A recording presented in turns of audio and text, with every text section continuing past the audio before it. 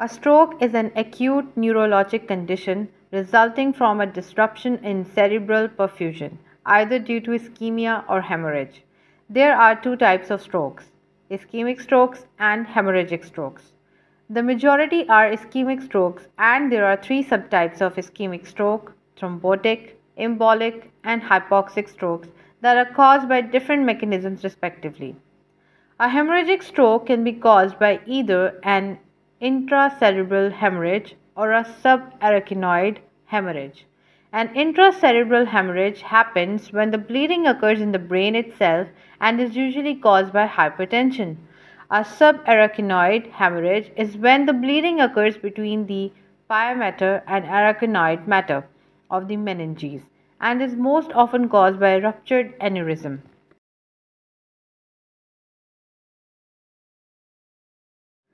Systemic hypertension and other cardiovascular diseases are common risk factors for both ischemic and hemorrhagic strokes.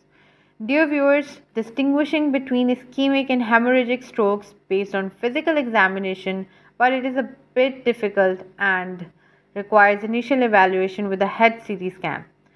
Further neurovascular imaging may be required before deciding the treatment options. In an ischemic stroke, the treatment of choice is thrombolysis with recombinant tissue plasminogen activator such as streptokinase.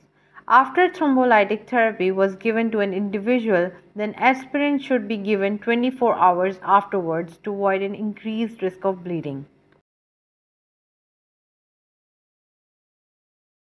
In a hemorrhagic stroke, anticoagulants and antithrombolytics aren't given because they can worsen the bleeding. Hemorrhagic strokes are treated with supportive measures and neurosurgical evacuation of blood.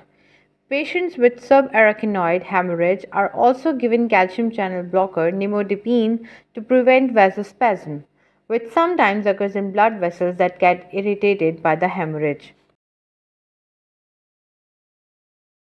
So that's all about different types of strokes and their management. I hope you like this video. For more amazing content, keep following Pharmacy D by Asim. Also, we have given the links to our Instagram and Twitter account in the description below. Please follow us there as well for amazing stuff. Thank you.